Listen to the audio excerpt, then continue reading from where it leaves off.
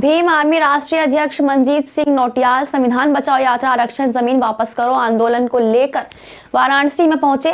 जैसे ही college university के विद्यार्थियों को पता चला कि आरक्षण बचाओ आंदोलन चल रहा है तो विद्यार्थियों ने यूनिवर्सिटी से जुड़ी ले, छुट्टी लेकर आंदोलन में खूब बढ़ चढ़कर हिस्सा लिया।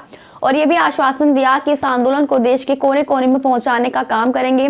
यह आंदोलन देश में बड़ी तेज़ी से आगे बढ़ रहा है। बता दें, मनजीत सिंह नोटियाल ने कहा कि लड़ाई अनुसूचित जाति और जनजाति पिछड़े अल्पसंख्यक आदिवासी लोगों की है। इस लड़ाई को मरते दम तक लड़ूँगा।